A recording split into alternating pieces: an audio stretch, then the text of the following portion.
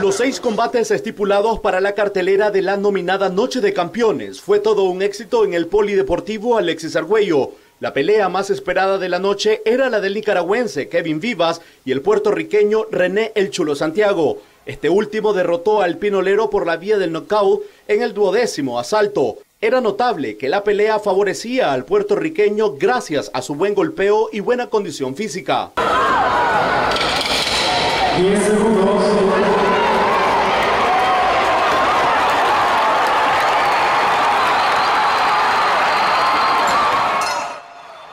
Bueno, primeramente le damos gracias a Dios que terminamos la batalla.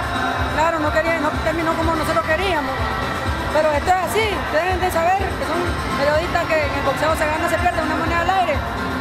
Le damos primeramente gracias a Dios. Hicimos el trabajo que llevamos.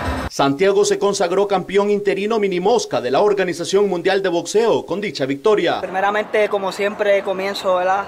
Gracias a Dios por la oportunidad por haberme permitido estar aquí en este país tan hermoso, dando una guerra.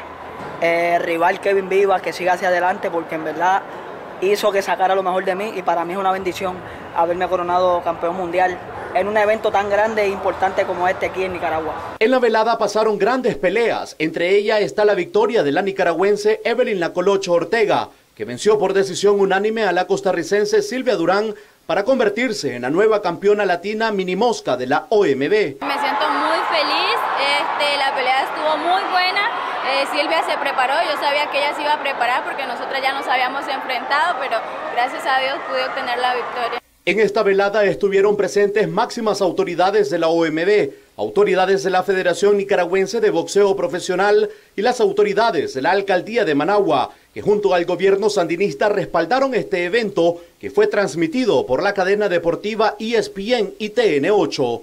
Con imágenes de Lenín Castillo en Crónica TN8, Ronald Rodríguez Solís.